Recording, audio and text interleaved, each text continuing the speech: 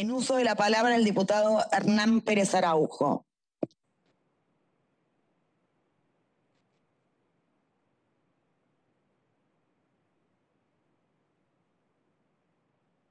Hernán, apretá el micrófono porque estás muteado.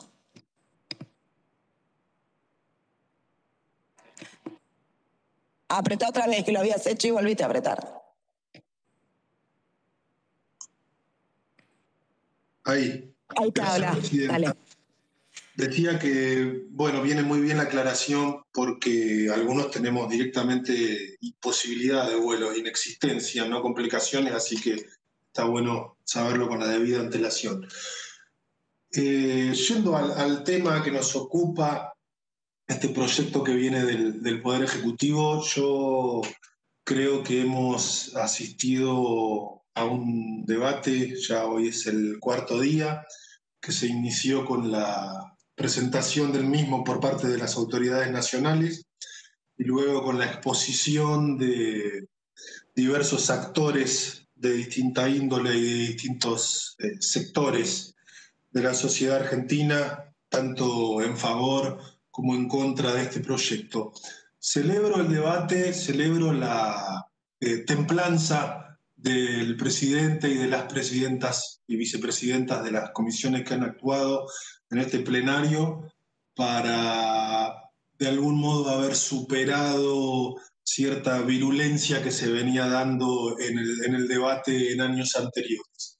No obstante, creo que vale resaltar, y hay que decirlo y no nos podemos hacer los distraídos, cierto hostigamiento que se viene recibiendo de parte de legisladores y legisladoras en sus correos electrónicos, en sus redes sociales, respecto de eh, la posición que vayamos a adoptar la sesión del próximo 10 de diciembre.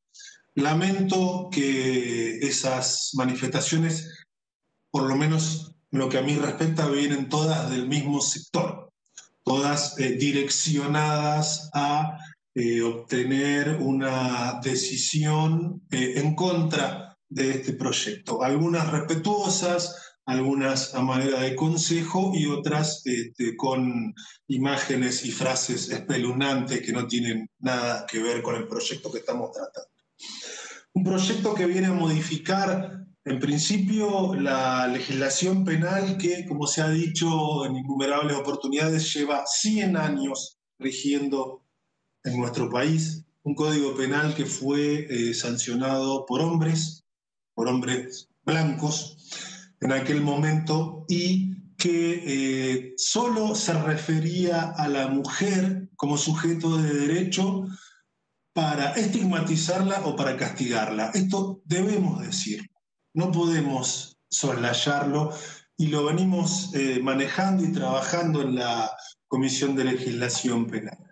Hay un cambio de paradigma y en este caso particular de la interrupción voluntaria del embarazo y su posible legalización, tenemos que adaptar el estadio de evolución del Estado y de su legislación más violenta, que es la legislación penal, a los cambios que evidentemente han devenido en la sociedad.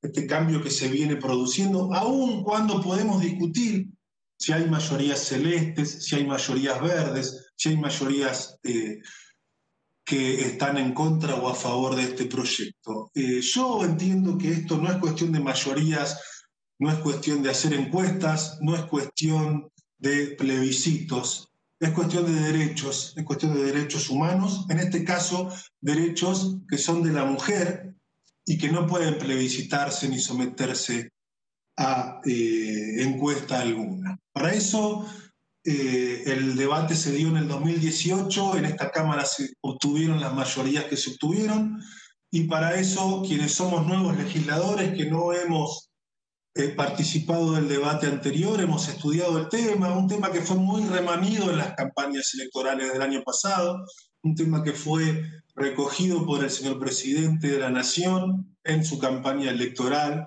fue una propuesta clara y concreta del Frente de Todos, por eso entiendo que como miembro del Frente de Todos, integrante del Partido Justicialista de mi provincia, en ese frente, le dijimos a la sociedad que íbamos a presentar este proyecto porque estábamos hablando de derechos de la mujer y de salud pública. Y está claro que es un tema de salud pública porque todos los abortos que se ocasionan en la sociedad son, de alguna manera, terminan todas las complicaciones y todas las desavenencias que sufre la mujer que decide optar por interrumpir el embarazo sin tener los medios adecuados para tener una prepaga o para poder eh, solventar la medicación o la intervención requerida en una institución privada, terminan en el hospital público, terminan con, con complicaciones, terminan eh, poniendo en riesgo su vida, su salud reproductiva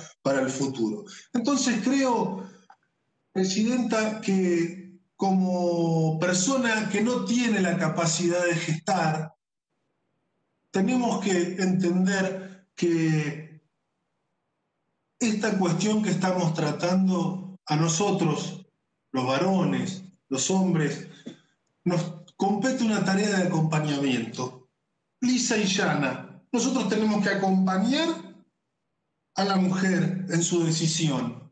Tenemos que acompañar a la mujer que decide llevar a término un embarazo y tenemos que acompañar a aquella que, por el motivo que fuera, dentro del término que se está disponiendo de 14 semanas, decide interrumpirlo. Para eso tenemos que darle la oportunidad de hacerlo y esta es la única manera, dejar de estigmatizarla y de castigarla con una legislación penal que es, además, insisto, lo único que ha hecho con la mujer en casi 100 años de historia. Entonces, entiendo que como hombre y como peronista además que me siento conminado por haberlo hecho eh, una cuestión pública en la campaña electoral, debemos eh, estar a favor de este proyecto de interrupción voluntaria del embarazo. Hay un montón de otros argumentos de tipo legal, constitucional, que daremos oportunamente en el recinto. Gracias, señora presidenta.